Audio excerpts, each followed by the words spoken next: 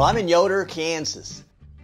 Yoder's basically an Amish Mennonite community of about 165 people. And I always say about in these small communities because births and deaths can change the demographics a lot.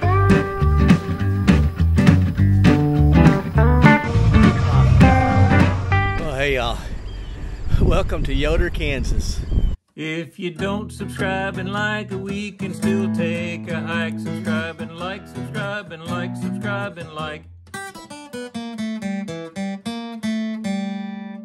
And this is Yoder Heritage Days.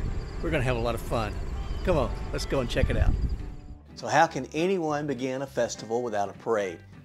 Yoder's parade is a little different. The horses lead off in grand style.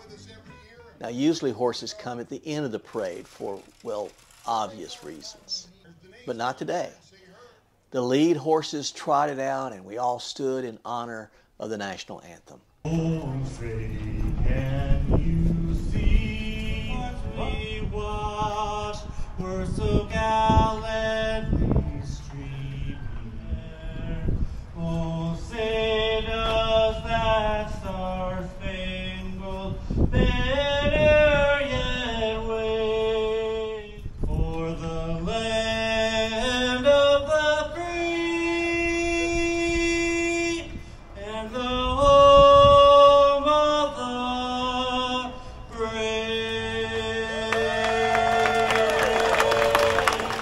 I love small town America. Well, they were followed by two young 12 year old lady riders who are not Amish. These young women are amazing, and you'll see that later. Then another group of riders came up the street. These are one of the main reasons I wanted to come to Heritage Days. This group is an Amish drill team. Yep, I said that right. An Amish drill team. And I'll share their demonstration later as well. this year, they're involved in fun shows, parades, trail rides, all kinds of fun stuff. What a neat rig, neat old buckboard. Yeah, Saturday mornings, give, giving carriage rides. Sierra and Marnita Knapp, David Rock coming. Antique tractors were crowd pleasers with this farming audience. There are so many events all day long buggy races, tractor pulls, music, displays, craft sales. I met people from across Kansas, Oklahoma, Minnesota. The Amish riders of the United Hoofbeats drill team, they're from Ohio. Well, the Flannelbacks is a group of young men from Newton, Kansas, and they play bluegrass and, and just good old mountain music.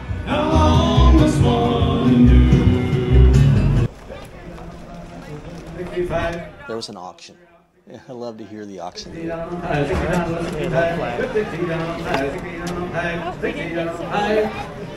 I'll go get it. The the buggy races was such fun to watch. Okay, first horse up, Delbert and Mike. These characters get together Drop of the flag. They are on the loose. to watch them have so much fun racing one another. The one has broke stride. They are both pacers. It's a side of, of the Amish community that I had not ever thought about.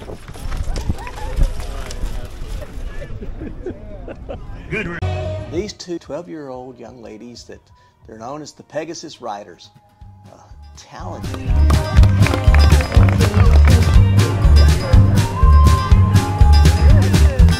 I'm wondering how I would, as a, as a dad, feel about my girl getting on these horses and riding upside down like this, this young lady does. They are gifted and talented, and, and I'm glad that they're as brave as they are. Much braver than I am.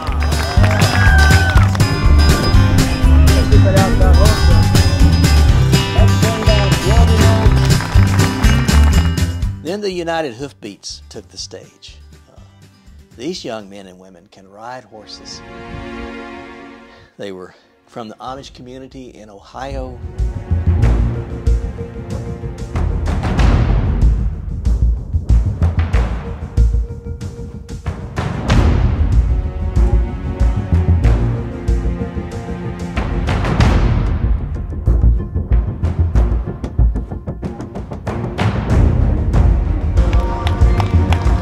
beautiful horses very talented riders. And the people loved to sit around and watch and cheer.